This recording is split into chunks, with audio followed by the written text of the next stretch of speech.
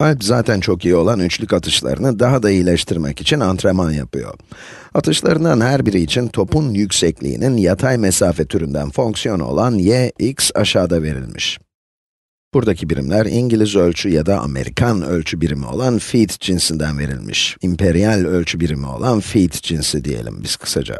Evet, bu örnek alışık olduğumuz örneklere göre biraz daha kafa karıştırıcı gelebilir ama bilmeniz gereken tek şey bir feet'in, bir feet'in yaklaşık 30 santimlik bir uzunluğa denk geldiği, denk olduğu.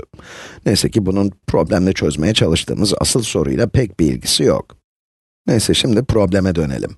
Bu veriye göre yüksekliğin y olduğunu düşünebiliriz. Yani y ekseni yüksekliği temsil edecek. O zaman x de yatay mesafe olmalı, öyle değil mi? Soruya göre yükseklik yatay mesafe türünden ifade edilmiş, o halde x'in yatay mesafeyi temsil etmesi gerekiyor. Şimdi alp x eşittir 0 noktasında duruyormuş. İşte burada duruyor. Fonksiyonun grafiğine bakacak olursak, fonksiyonun y eksenini kestiği nokta olan x eşittir 0 noktasındaki yükseklik, topun atış yapılmadan önceki yüksekliğini veriyor. Aşağı yukarıda 6 feet'lik bir yükseklik bu. Yani 1 metre 80 santim gibi. Alp atışı yaptığında ise top bu parabolik yörüngeyi takip ediyor. Yükseliyor, yükseliyor ve bu noktada maksimum yükseklik olan 16 feet'e ulaşıyor ve daha sonra da düşüşe geçiyor. Ve bu noktada 26 feet'lik bir mesafe kat ettikten sonra sanki bir şeye çarpıyor. Bu şeyin yüksekliğinde 10 feet yani 3 metre kadar olduğunu düşünürsek, tahminen top potaya ulaştı diyebiliriz, değil mi?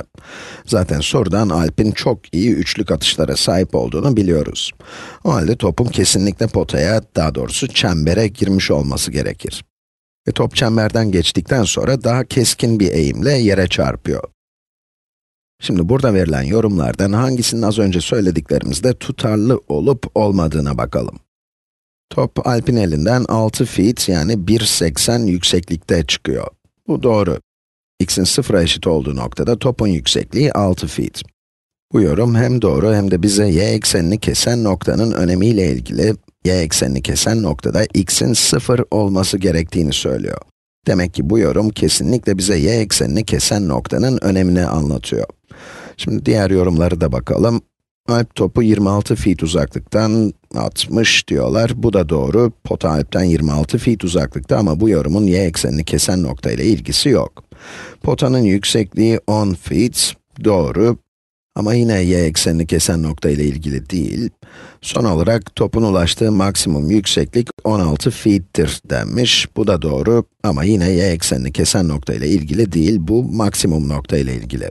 O halde sadece birinci seçenek doğru ve y eksenini kesen nokta ile ilgili diyebiliriz.